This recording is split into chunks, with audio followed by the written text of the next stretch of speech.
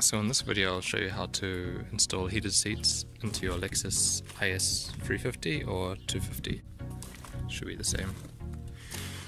Some Lexus come factory installed with heated, heated and cooled seats, but uh, mine didn't. It's an optional extra. Don't know how much extra you pay. But the first step to do is to undo um, these four 14 millimeter um, bolts. They're stuck in pretty well, so you might need something a bit bigger than a than a half inch number 14 um, socket. But I used a half inch number 14 quality socket. And then once you get the seat loose, um, tilt the seat back and unplug these three connector looms. So before doing this, I suggest disconnecting the battery because your AB, uh, your um, airbags uh, is installed in the side of the seat here, and um, I, I've read that maybe disconnecting this can cause the airbag to go off. So I suggest disconnecting the battery first um, before you disconnect these seat plugs. Um, yep.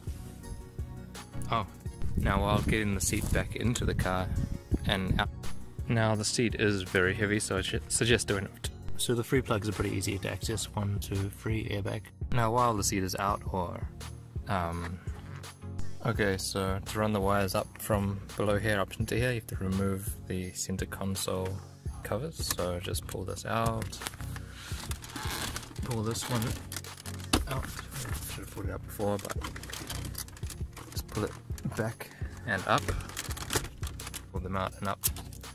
Pretty easy. Just there's the clips there, so it comes back and up.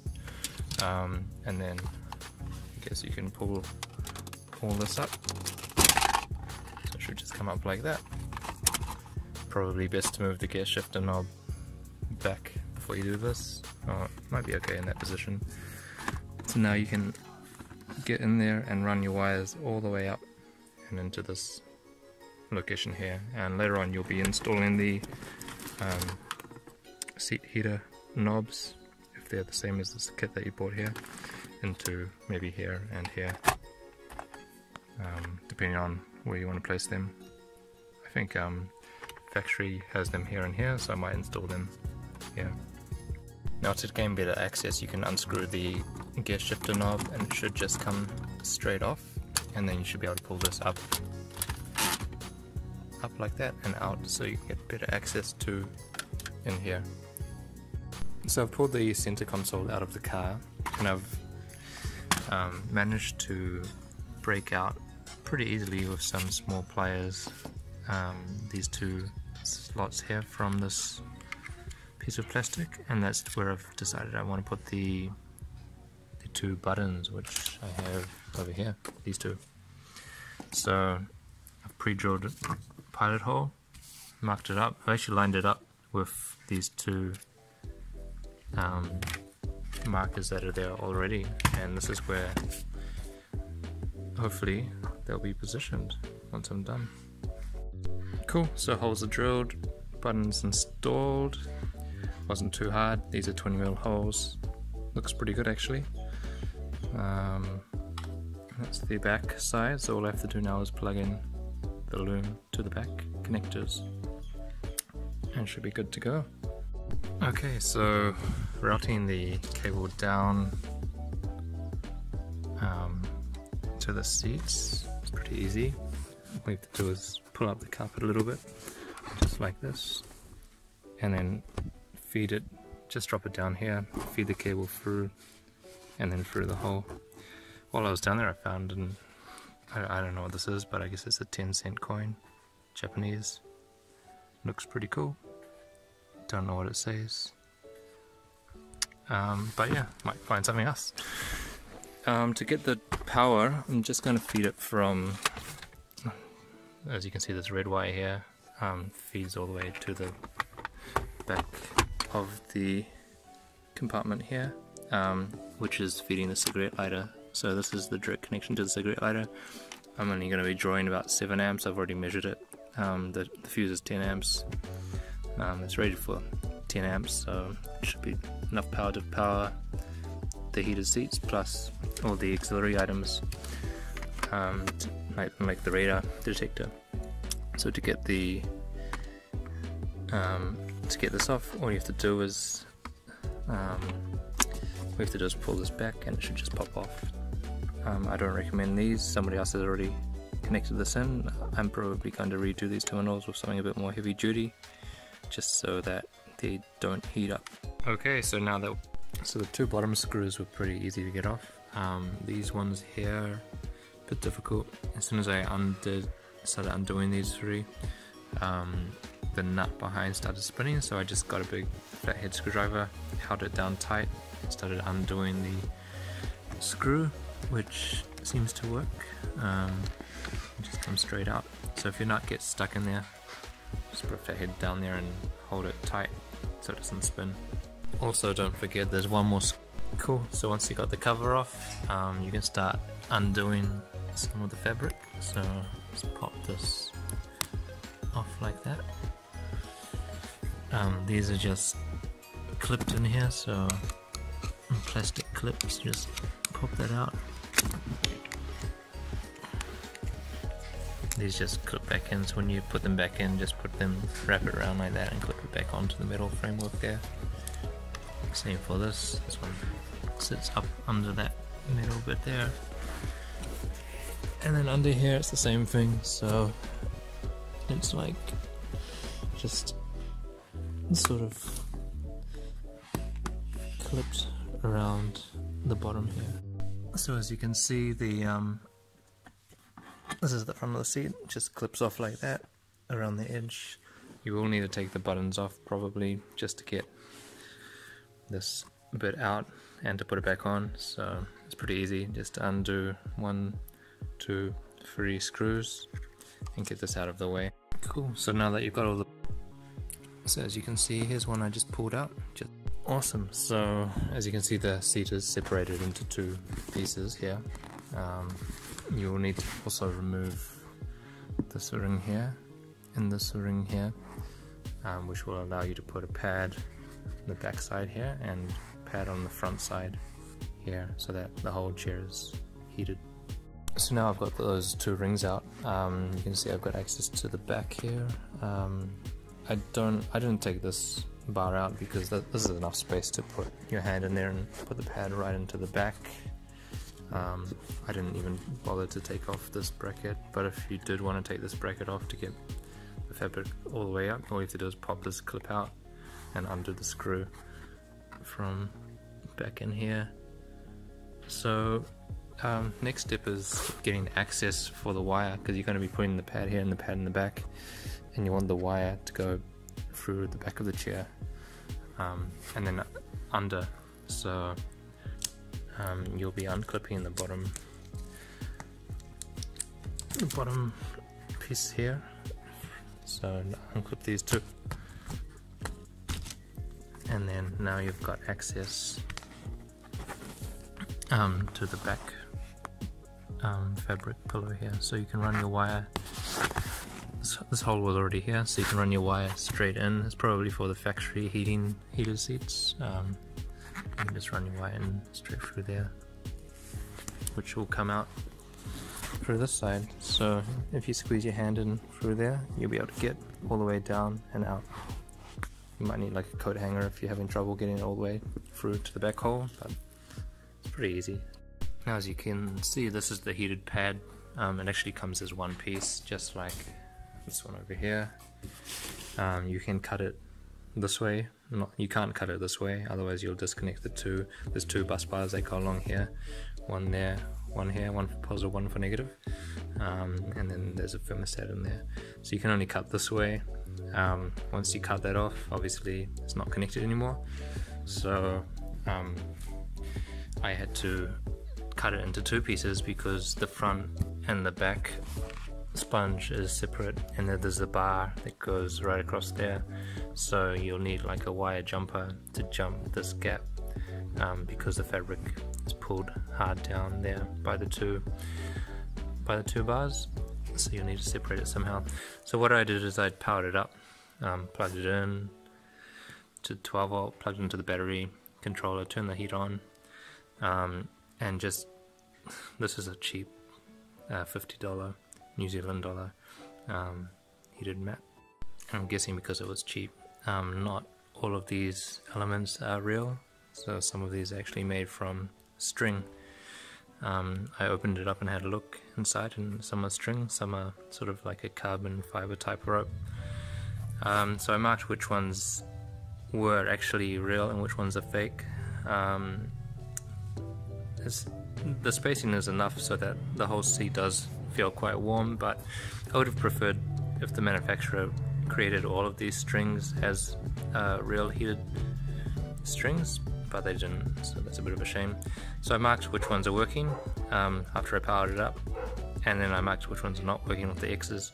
So I, I, I pretty much just cut down the middle of one of the X's because that's not even a real heated element and I peeled back the the fabric and going down each side uh, two like copper bus bars with some braided wire. So what I did is I got two little pieces of wire. Doesn't have to be very high gauge because it's only one or two amps going through these wires. Um, and I soldered on each side.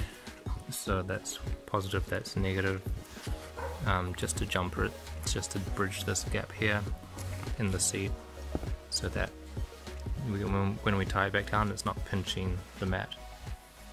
Um, you can probably, you could probably just um, put some holes through the mat, heated mat, and, and reconnect these, um, what do you call them, these uh, here, but there might be a chance that you could short out the mat if you don't cut through one of the non-active. Cool. So now that we've got the two heated pads in place, we're going to use some cable ties. Um, and we're going to tie these bars, um, these, these three bars here, back uh, down to the, the bars that are in the seat. Um, how the same, pretty much the same way that we took the old clips out, except now we're going to use cable ties to cable tie the, the two bars together there you go. So I've got two cable ties installed. Pretty easy. Trim off the ends so that there's no spiky bits in the seat. Um, I always like to push the heads around so that they're facing down instead of up. So that, yeah, that replaces the, the rings that were holding the fabric down before. And as you can see, it's nicely pulled down. Just make sure it's nice and tight so the two bars are back how they were originally. And um, yeah, once you get these two bars cable tied down, wrap the seat back around as the same way you took it off. I have to say that the second seat takes much less time um, to do compared to the first seat. So, in terms of time, the first one took me a few hours to be honest to get it out of the car and um, fully assembled and heat pads soldered up and everything. But this one's probably only taken me about an hour to this point here. Um, and then it's probably another hour's worth putting this all back together, putting the covers back on, um, and then of course clipping these clips back along the bottom here. Now of course I did forget that we have to put the back uh, heated pad in as well, so I didn't want to take apart the whole seat. It takes a bit more time to take this bit off here. But I found that when I sat in the seat, my body was pretty much touching this part here and not really over here. So I'm only going to stick a heated pad in from here to here anyway. Um, the pad is pretty much the whole length, so there's not much more heated pad that could go here anyway. Um, and this part probably will take you an hour to get um, all the fabric off. At least the first time it'll take you an hour, maybe the second time around take you about half an hour for the second seat since you know how to do it and you know how to get back together so I'll show you how to do that. And of course, um, there we go, it's back on. It may look like you've just destroyed your seat with all the wrinkles and stuff, but once you get all the the bottom clips clipped in around the bottom here, all these things, um, it will look good again. And then of course, the more you rub your hand around it and flatten it out and everything, the more um, it will improve its appearance. Um, I've just connected mine up to a battery just to see if it's actually working still. And of course it is. The front pad and the back pad are working fine. So yeah. Um, now on to the back pad. To get access to the the sponge we have to get this whole rear piece off um, so that we can get the rings off from around here and to do that we just need to take out these two screws here. Um, and then we'll end up taking this cover off. So I'll show you how to do that in a minute. Cool. Two screws are out. Um, now you should just be able to pop this up out like that and like that and then pull back uh, to unhook the back. Um, so if you're having trouble to get getting this off there's two clips here these two that you'll need to um, unclip maybe with a screwdriver from the side if you can't get if you can't yank this up. Um, and then of course slide it back because there's these two hooks here that hook into the top. So yeah um, next step is to undo this. So same technique get a bolt cutter or some fat ass pliers to break this ring. Um, and you'll also be taking off these these three rings one here one there and one there um, which will that that's the bottom piece of the the seat cover from the bottom. And then of course you have to wrap uh, you have to loosen this part off and this part off to get your to get your um, heated mat up from the other side. So we have to get rid of this ring this ring this ring this ring this ring this ring. Um, and then we should be able to get enough uh, enough space in there to slide our pad up and through the bottom now that you've got all those rings off take this cover off here so it's held on by some clips. Another same style clip. Um, and then undo these two. So these these two here, one. Pretty hard to get off sometimes. One and two.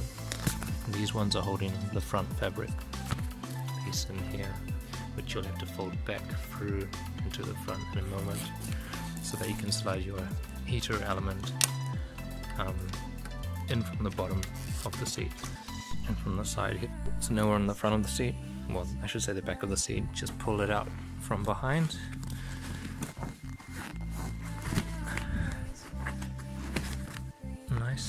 you'll be putting that all back in afterwards but don't worry slide it all back as far as you can. Of course, we have to remove the rings. Well, you probably don't need to remove the rings. You can probably just tuck your heated pad in all the way up to there. As you can see, the pad pretty much covers the whole back of the chair. Um, and because the last wire I tested, well, the last string I should say that they put in here isn't actually creating any heat, I want to cut that piece off um, so that I can bring the last um, carbon wire element that is actually working. I can bring that all the way up to the top here so that I've got heat right up here starting there and then down down down down um, all the way to the bottom just like where these ticks are. Um, I've checked that's where they're working. All the rest are made from string fake elements the top off now so yeah it's a perfect fit from top to bottom um, this is just a waste because there's nothing in there just run the wire back through there like I said before and out of here. Um, another thing to mention is that the double-sided tape that they put on is, seems to be on the wrong side because um, it should really be on the back side that you want to stick it to. See, but I'm not using the double-sided tape so it doesn't really matter. Looking good. There we go, the chair's all back together, ready to go straight back into the car. Underneath we have the two wires that are here for plugging into the loom, um, the heater, the heater loom, and then of course we have to plug these wires back in as well. A bit messy under there, looks like it's never been vacuumed, and then we'll get back and connect all this up. So, yep, connect it all up into there, run the 12 volt back into the cigarette lighter connection here. Cool. So it's actually the next day and the seat is now installed in the car and connected up. So there we go, back in place where it normally is. Bit of crap down there, still clean it up. Um, and the center console is all back in place. So turn the car on.